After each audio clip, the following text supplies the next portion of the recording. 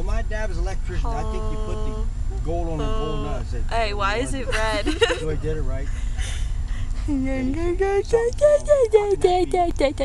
Electric in this outlet.